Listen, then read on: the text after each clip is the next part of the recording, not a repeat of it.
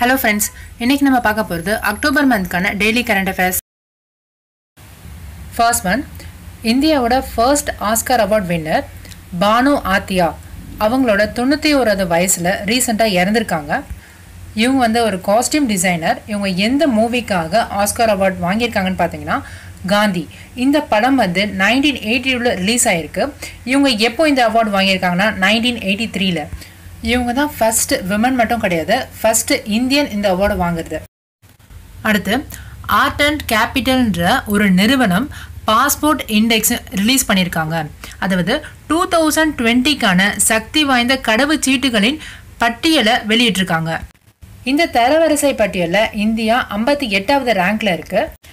இந்த லிஸ்ட்ல ஃபர்ஸ்ட் பிளேஸ்ல யார் இருக்காங்கன்னா நியூசிலாந்து தான். செகண்ட் பிளேஸ்ல Germany Austria Luxembourg Switzerland Ireland and Japan இந்த தரவரிசை பட்டியலில் கடைசி இடத்தை யார் பிடிச்சிருக்காங்கன்னா ஈராக்கும் ஆப்கானிஸ்தானும். இந்த தரவரிசை பட்டியலை எப்படி கால்குலேட் பண்ணுறாங்கன்னா ஒரு சிட்டிசன் அவங்க நாட்டு பாஸ்போர்ட்டை வச்சு எத்தனை கண்ட்ரீஸ்க்கு அதிகபட்சம் எத்தனை கண்ட்ரீஸ்க்கு வீசா இல்லாமல் போக முடியும் அப்படின்றத வச்சு தான் இதை கால்குலேட் பண்ணுறாங்க அதில் இந்தியன்ஸ் வந்து அவங்க பாஸ்போர்ட் வச்சே வீசா இல்லாமல் சிக்ஸ்டீன் கண்ட்ரீஸ்க்கு போக முடியும். அடுத்து ரைட் டு இன்ஃபர்மேஷன் ஆக்ட் தமிழில் தகவல் அறியும் உரிமை சட்டம் இரண்டாயிரத்தி அஞ்சு. இது ஷார்ட்டாக ஆர்டிஏ ஆக்ட்னு சொல்லுவாங்க. இப்போ எதுக்காக நியூஸில் பார்க்குறோம்னா இந்த சட்டம் two thousand five October twelfth அன்னைக்கு தான் நடைமுறைக்கு வந்தது. இதோட பதினஞ்சு வருஷம் ஆச்சு ஸோ இதுக்கு ஒரு விழிப்புணர்வு கொடுக்கணும் மக்களுக்கு அப்படின்றதுக்காக ஞாபகப்படுத்தியிருக்காங்க. எந்த ஒரு பர்சனும் கவர்மெண்ட் சார்ந்த ஒரு இன்ஃபர்மேஷன் இல்லைன்னா மக்களுக்கு பொதுவான ஒரு இன்ஃபர்மேஷன் தெரிஞ்சுக்கணும் அப்படின்றதுக்காக இந்த பெட்டிஷன் அதாவது இந்த ஆக்டு கீழே பெட்டிஷன் எழுதி போஸ்ட் பண்ணலாம். எந்த ஒரு கவர்மெண்ட் ஆஃபீஸுக்கும் இந்த லெட்டரை போஸ்ட் பண்ணலாம். சம்மந்தப்பட்ட அதிகாரிகள் இந்த ஆக்டு கீழே ஒரு லெட்டர் வருது அப்படின்னா அவங்க கண்டிப்பாக தகவலை கொடுத்து தான் ஆகணும். அது முப்பது நாளுக்குள்ளே.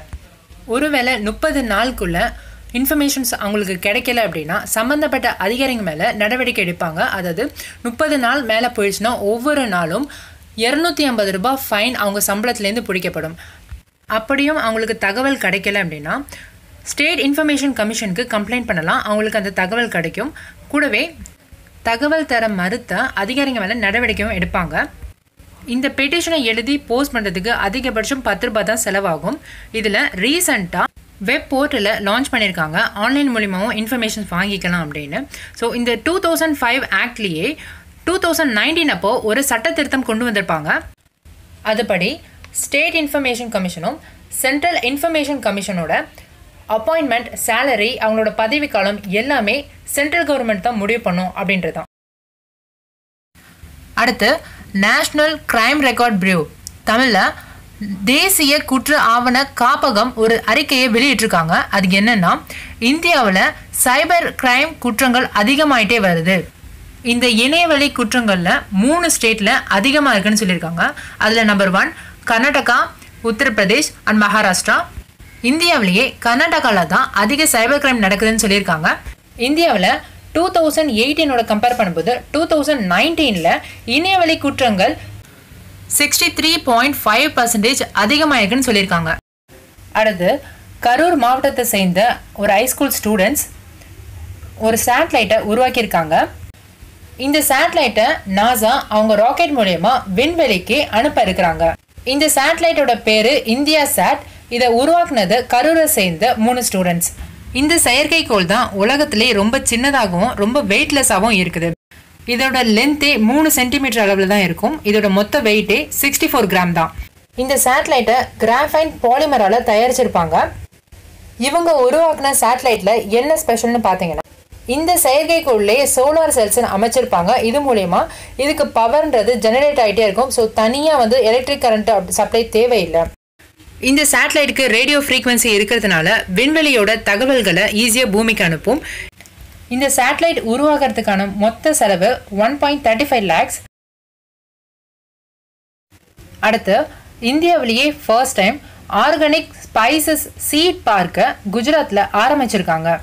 இது தமிழில் இந்தியாவின் முதல் இயற்கை நறுமண பொருள் விதை பூங்கா. இந்த பார்க்கை அமைக்கிறதுக்கு நபார்ட் பேங்க் சப்போர்ட் பண்ணுறாங்க இதை குஜராத்தில் ரெண்டு மாவட்டத்தில் அமைக்க போகிறாங்க எந்த மாவட்டம்னு பார்த்தீங்கன்னா பானஸ்காந்தா டிஸ்ட்ரிக்ட்லேயும் பதன் டிஸ்ட்ரிக்ட்லையும் அமைக்க இருக்கிறாங்க. இந்த ரெண்டு பார்க்லையுமே ஜீரக வகை செடியை தான் அமைக்க இருக்கிறாங்க. கேரளாவில் ஒரு புதிய வகை மீன் இனத்தை கண்டெடுத்திருக்காங்க. அதோட பேரு ஸ்னேக் ஹெட் ஃபிஷ் இந்த மீன் எந்த வகையை சேர்ந்ததுன்னா ஆனைக் மசானான்ற ஃபேமிலியை சேர்ந்தது. இந்தியாவிலேயே இப்படி ஒரு மீனை இப்போ தான் ஃபர்ஸ்ட் டைமாக கண்டுபிடிச்சிருக்காங்க. இதை கேரளாவில் வெஸ்டர்ன் காட்ஸில் கண்டுபிடிச்சிருக்காங்க. அடுத்து நியூசிலாந்து நாட்டில் பிரதமர் எலெக்ஷன் ரீசெண்டாக நடந்தது. அந்த நாட்டோட பிரதமரை செகண்ட் டைமாக ஜெயிச்சிருக்காங்க. அவங்க ஒரு விமன் பிரைம் மினிஸ்டர் அவங்க பேர் ஜெசிண்டா அர்டன் இந்த கொரோனா நோய் தொற்று காலகட்டத்தில் நியூசிலாந்து நாட்டை பெருசாக எதுவும் பாதிக்கலை அப்படின்னு இவங்க சிறப்பாக ஆட்சி பண்ணியிருக்காங்க. இந்த காலகட்டத்தில்னு இவங்களை எல்லாரும் பாராட்டியிருப்பாங்க. இப்போ இவங்க செகண்ட் டைமாக வர பிஎம் எலெக்ஷனில் ஜெயிச்சிருக்காங்க. நியூசிலாண்டோட கேபிட்டல் வில்லிங்டன் அடுத்து அஸ்ஸாம் ஸ்டேட்டை சேர்ந்த முன்னாள் சீஃப் மினிஸ்டர் சையதா அன்வரா தைமூர் இவங்க ரீசெண்டாக இறந்துருப்பாங்க. இவங்க தான் அசாம் ஸ்டேட்டோட ஃபர்ஸ்ட் விமன் சீஃப் மினிஸ்டர் இவங்களுக்கு அப்புறம் யாருமே விமன் சீஃப் மினிஸ்டர் இருந்ததில்லை. இவங்களோட ஃபர்ஸ்ட் எலெக்ஷன் பார்த்தீங்கன்னா நைன்டீன் செவன்டி டூவில் வின் பண்ணியிருப்பாங்க அதுக்கப்புறமா இவங்களோட கடைசி ஆட்சி காலம்னு பார்த்தீங்கன்னா நைன்டீன் எயிட்டிலேருந்து நைன்டீன் எயிட்டி ஒன் வரைக்கும். அடுத்து லெனக்ஸ் டுவெண்ட்டின்னு இந்தியாவும் ஸ்ரீலங்காவும் நேவி எக்ஸசைஸில் இன்வால்வ் ஆயிருப்பாங்க. இது எப்போத்துலேருந்து தொடங்குச்சுன்னா அக்டோபர் நைன்டீன்லேருந்து அக்டோபர் டுவெண்ட்டி ஃபர்ஸ்ட் வரைக்கும் நீடிக்கும். இந்த வருஷம் இந்த கூட்டு கடற்படை போர் பயிற்சி எங்கே நடக்குதுன்னா ஸ்ரீலங்காவில் ட்ரின் கோமலின்ற இடத்துல இருக்குது பே ஆஃப் பெங்காலில் இந்த வருஷம் வந்து எயித் எடிஷன் இதுக்கு முன்னாடி போன வருஷம் செவன்த் எடிஷனாக விசாகப்பட்டினமில் நடந்திருக்கும். ஸோ இந்த வருஷம் நடக்கிற இந்த கடற்படை போர் பயிற்சியில் என்ன ஸ்பெஷல்னு பார்த்தீங்கன்னா இந்தியன் நேவியில் புதுசாக சேர்த்த அட்வான்ஸ்டு லைட் ஹெலிகாப்டரும் சேட்டக் ஹெலிகாப்டரும் இந்த பயிற்சியில் ஈடுபட்டிருக்கு. இந்தியாவை சேர்ந்த எந்த கப்பல் இந்த பயிற்சியில் ஈடுபட்டிருக்குன்னு பார்த்தீங்கன்னா கோமர்டா அண்ட் கில்டன் தேங்க்யூ ஃப்ரெண்ட்ஸ் இந்த வீடியோ உங்களுக்கு பிடிச்சதுன்னா லைக் பண்ணுங்கள் சப்ஸ்கிரைப் பண்ணுங்கள் மறக்காமல் இந்த வீடியோ லிங்க்கை ஷேர் பண்ணுங்கள்